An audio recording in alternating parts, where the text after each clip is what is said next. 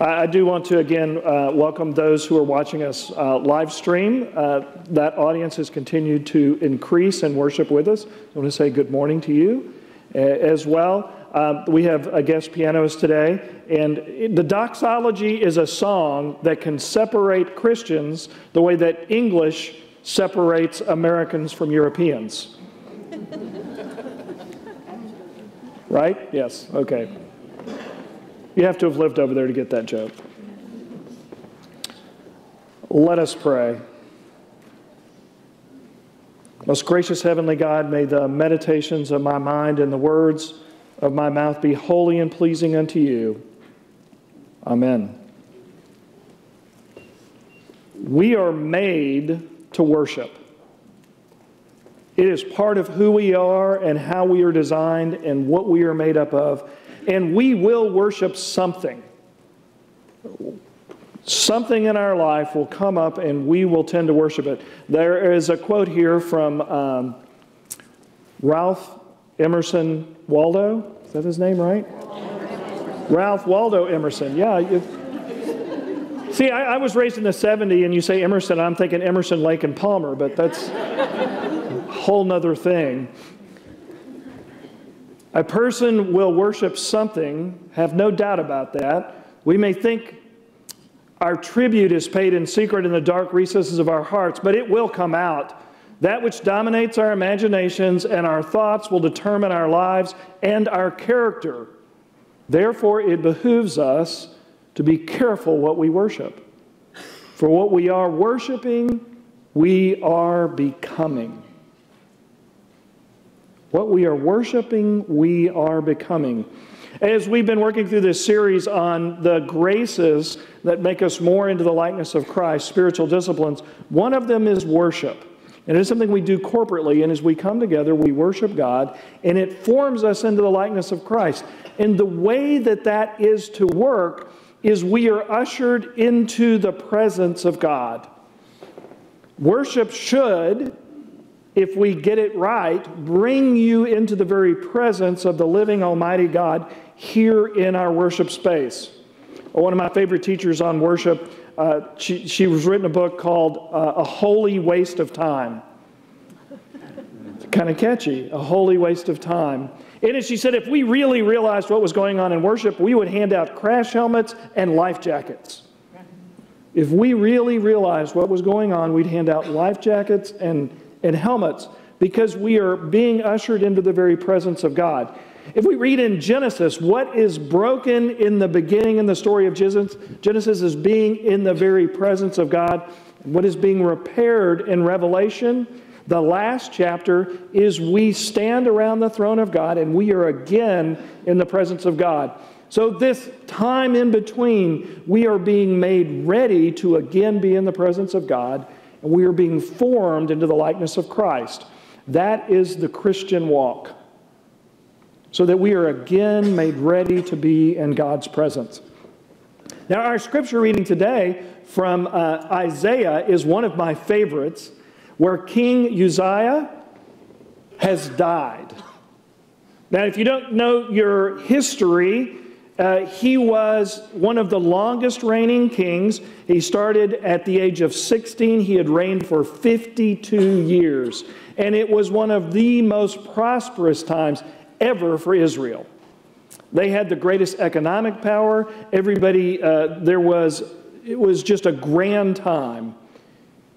And then he died. Now, can you imagine having the same person in charge as king for 52 years? Most of the people who were alive at this time had never known another king.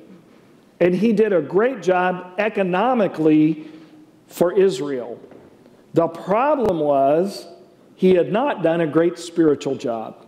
If you read the story of what took place, there, there is another prophet who rose up and had called him out and said, You need to quit doing what you're doing. But guess what? All of the advisors and all of the teachers and everybody else said, Don't listen to that prophet because we must be blessed because we're doing great. And he said, Get ready because the day of the Lord is coming. And, and in case you don't know what that code language is for, it's get ready, it's going to get ugly. The day of the Lord gets ugly for everybody. And so he predicted an earthquake. The earthquake took place. Things got really bad. King Uzziah decided, you know what I'll do? I'll take the offering myself into the Holy of Holies. Guess how that went? Badly. And then he died. And Isaiah and all the people were grieving. They were going, What are we going to do? What are we going to do when everything goes bad? You ever been in that place? Where you wonder what is going to happen with the rest of my life when everything has come unglued, everything has come undone, and then Isaiah has a vision. He is ushered into the very presence of God, and in the very presence of God, he sees the temple. Now, you've got to just picture the temple. The doors are at least three stories tall, as tall as this building on the inside. Uh, the doors were uh, extremely wide. Uh, two of them would probably go from the piano to the organ. And the singing was so loud of holy, holy, holy, they shook on their hinge pins and the threshold vibrated and smoke poured out. Now, do y'all get the idea what this picture's like? It's got to be amazing. Amen. You give me the crash helmet. I need a life jacket. It's uh, look, to be ushered into the presence of God is both terrible and wonderful. It's both terrible and wonderful because when we get ushered into the very presence of God, we are confronted with what is not truth. With all the things in our life that are wrong, with all the things we have not done correctly, all of that comes crashing down on us, and at the same time, we are then ushered into mercy. It is terrible and wonderful all at once. And uh, what does Isaiah say when he sees it all? I am undone. Because I am a man of unclean lips, and I live among a people of unclean lips. And then a seraphim picks up a coal, places it to his mouth, he is cleansed, and then he is then made ready to go into the world. You see, that's what worship is. Worship is we are brought into the presence of God, we are confronted, we are cleansed, and we are made ready to go into the world. That's what worship should do with us. And is it always pleasant? No. But is it good? I mean, you see how excited Isaiah is. So there is this process where we live many times, and, and I know you have, and I have, when you wonder, is God still seated on his throne? When, when things have gone bad, when things have gone wrong in the, in the world, and, and, and we need to see God on his throne. And worship invites us into that place. So, in this series, I've been talking about the things, uh, and, and I have four things this day that we can practice that help us practice the presence of God, that help us practice worship. And, and so I want to invite us into the steps that, that there are. Uh, the first one is practicing the presence of God in our daily life. Did you know, and I'm sure you do, through prayer, through meditation, through study, through many other ways, we can practice the very presence of God in our life every day. And as we do that, it helps form us. But we need to be practiced at not just worship on Sunday morning, but on a daily basis as we go through life. And there was a time that it really came home for me and it really helped form and develop me uh, was when I was a Boy Scout at 14 years old, we went to Philmont, New Mexico, and we hiked about 60 miles uh, in the New Mexico mountains. And if you've never been, it is a gorgeous and wonderful thing to do. And at 14 years old, I was four foot nine and weighed about 80 pounds, and I carried 40. They now have weight requirements. I don't think they'd have let me go now. Yeah, you're right. and they shouldn't have. It's okay. It was one of the hardest things I ever did. Now, when I got home, my mom had to buy me all new clothes because you, you heard of those growth spurts? I got off the bus and my clothes didn't fit. But, but here's what happened on that, on that trip. Now, if, if you haven't been to the mountains in the summer, uh, we went, it was uh, the 4th of July, July weekend, uh, and we were there, and it rains during the monsoon season there. And it rains every day. And about the second day on the trek of hiking out there, now, now they don't really have trading posts. I have to describe this Boy Scout camp. This Boy Scout camp is roughing it. If you don't have it on your back, you don't have it. It's a simple rule. So if you've got it on your back, you've got it with you. Somewhere, somehow, a 14 year old lost his poncho, which is your rain gear, in monsoon season. Yeah, not good. So, guess what I spent every day doing while I was hiking? Lord, it'd be really good if it didn't rain till we got to camp. You know, Lord, it'd be really good. Uh, for the entire time that I was hiking, I was in conversation with God about the weather forecast. And I would be admiring God's handiwork, and I would be spend time walking along, and I'd watch the clouds, and I'd go, "Boy, it'd be really good, Lord, if it didn't rain for another hour or two. Now, sometimes it rained anyway.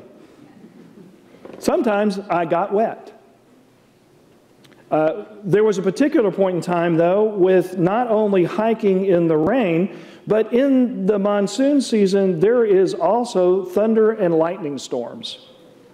And so when you are hiking in the mountains near the clouds and there is lightning, they, they don't tell this to the moms, but it's dangerous. Did they mention that part before they sent your kids? No, of course not. They didn't mention it to me either. And so here's the safety advisory they give you. Uh, there were about 10 young men in our track. They said walk 20 feet apart so if anybody gets hit by lightning, it doesn't hit everybody.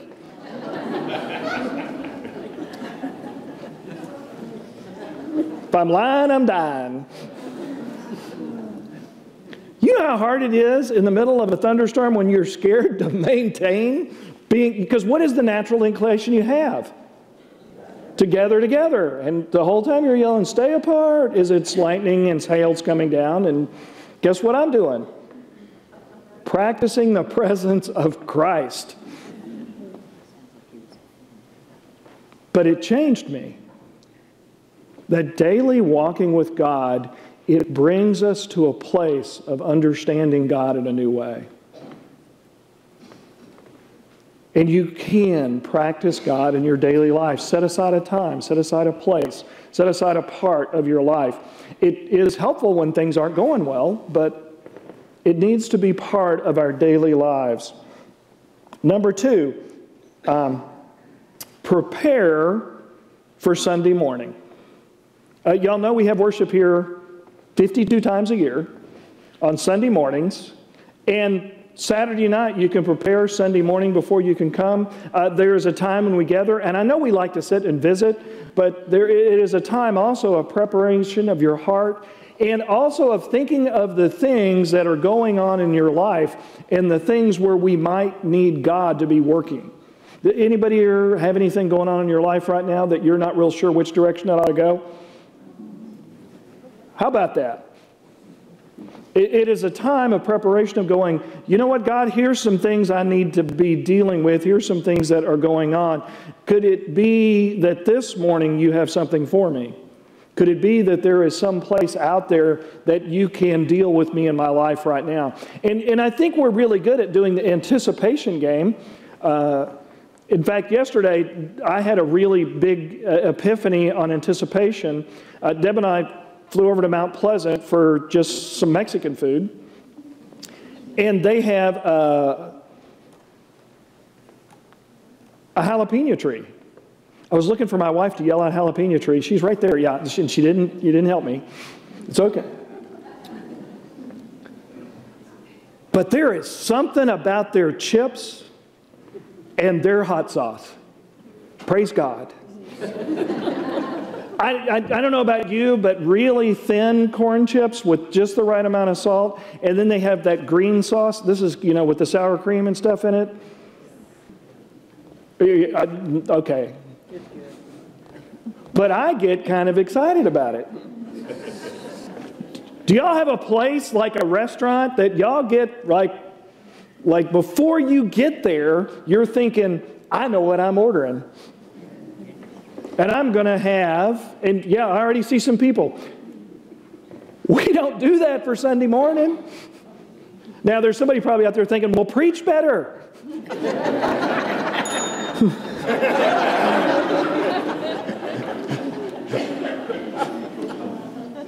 you got a point. The anticipation that God will meet us with what we have needs to be in our life. But if, we, if it's not anywhere in our mind, we may not connect.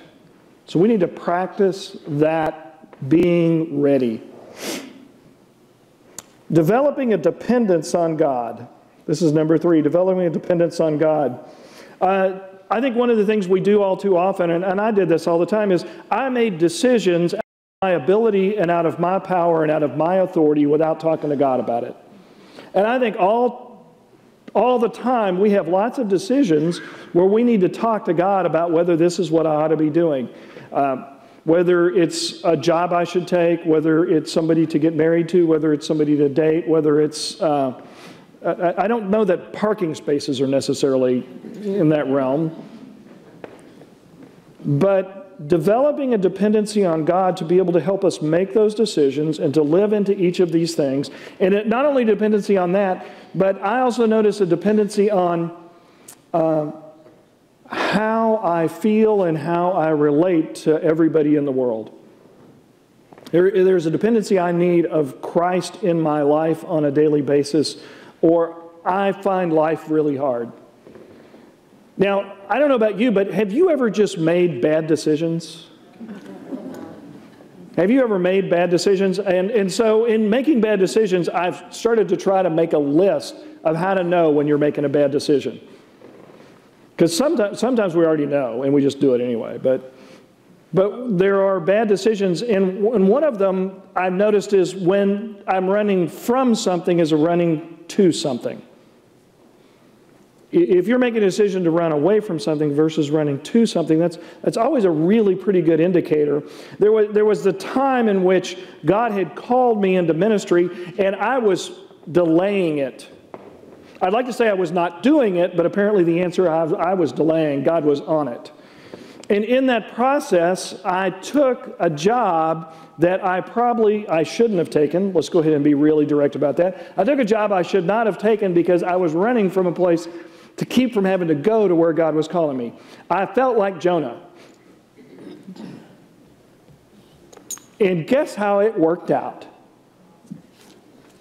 I learned a lot. That's a euphemistic way for you children to understand it did not go it did not go well, but I did learn a lot. But here's here's the thing is in life I didn't have the courage to follow where God was calling me, to learn that I needed to learn my dependence in Christ. So, is God calling you to something? Is God calling you to a place? Is God calling you to a decision? And in that, we need to develop that dependence that God will carry us through the things that God calls us to. And if you're running from something as opposed to running to God, it is a clear indication that you're not living into the dependence that we should have in Christ. Worship is a place of sacrifice. Worship is a place of sacrifice. Romans uh, 12, this is your reasonable act of worship, dying to yourself. Worship brings us to a place where there are things in our lives that we need to die to, things we need to give up, things we need to have go. And it may be for a season that it goes away and then, and then comes back, but there are things we need to lay upon the altar and allow them to be burned up. And I will say this the sacrifices that take place this way are pleasing to God. The smell of our flesh burning is pleasing to God because it shows our dependence. And I'll tell you, in my own personal life, one of the struggles that I've had to deal with, and, and, you may not deal with this, but I have certain ways that I want to do things, and I think other people should do them that way as well. And I really think that Like, y'all should do things the way I want to do them. Where's the amen and the bell? Wrong, yeah. You know, so y'all struggle with this? Like, so, you know, what needs to go in my life is, as one person put it, there's more than one way to skin a cat. And so there are a lot of ways to get things done, and there's a lot of ways to have them go forward. And in my life of following Christ, I've had to learn to let my way go and let other people's ways come forward and watch what Christ can do in it. But in that process, I've had to let go of some things. And worship is a part of letting that go out of your life. While at Kingwood, uh, a man named David, a wonderful guy, a very get it done person, he uh, was an entrepreneur who built multiple different car washes. And so he would take and he would buy some land, he would build a car wash, he would get it up and running, he would get the business all up and going, then he would sell the whole business to somebody and then go do it again. So you can imagine what this guy's daily life was. Okay, go find the real estate, get it built, get somebody in charge of it, get, hire people, get the cars washed, and get it sold again. So this guy's life was a checklist, and he was good at it. So we had the opportunity when a hurricane came through, not the most recent one, uh, one further back, and four feet of water went through a parsonage. And the conference came to Kingwood and said, Would you guys help them rebuild this parsonage? And so we said, sure, we'll come alongside you, we'll help build it. We'd gone down to visit them. David went with us, and he met the family who was now living in a trailer that was sitting in the driveway, and all their stuff was out in the yard, and there was piles of carpet and piles of sheetrock and piles of stuff. Eh, you ever been to where a flood has been? It's an absolute mess. There were fish stuck in their chain link fence just in case you wonder how it smells. Piles of stuff down the street, you know, and they were just coming by with cloths, picking it up. And David saw it, and his heart went out, and his conclusion was this we need to redo this parsonage as fast as we can. We'll hire all these contractors, we'll do this, we'll do that, and it'll all get done. Now, our director of missions, Judy, had another vision. She said, What we need to do is we need to have people go down every weekend and work on the parsonage and rebuild it ourselves. These are two different visions. As we're sitting talking through it, David was very insistent. Have you ever been in a meeting where there are two sides to something and they are not getting along? That was that meeting and it was getting a little more emotional, a little more emotional. You, you guys know what I'm talking about. And finally, I, I looked at David and I, and I, said, because Judy was not making her point very well, and, and David was not following it. And, and finally, I said, David, I said, you know, you've been part of a ministry that goes and works on people's houses. Uh, it was Helping Hands Ministry. You go and replace a flapper valve or change a light bulb, or he put in like a wheelchair ramp that was two inches tall. It is really easy stuff. But in doing that, David had become very close with a family who needed help, Shelby Owens. And, and Shelby had had a stroke, and, and David had grown in his faith because he had gone and done mission work.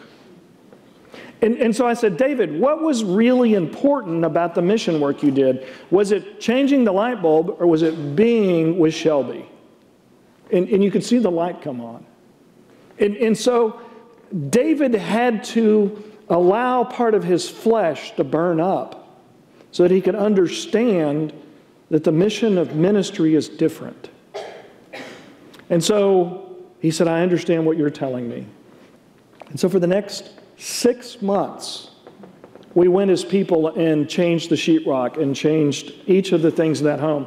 And, and, the family that lived there said, you know, one of the most healing things they had were seeing people of God every weekend come and be with them. It was the ministry of people being there, not just the repair of their home, it was being with people. Worship is this place it's this place where we're confronted with God. And in the being confronted, God cleanses us and makes us ready to go out into the world. For there's a hurting and broken world out there. My prayer for you and my prayer for me is may we be confronted. May we be confronted and may we be cleansed and may we go out. For there is a world in need of Christ. In the name of the Father and the Son and the Holy Spirit. Amen.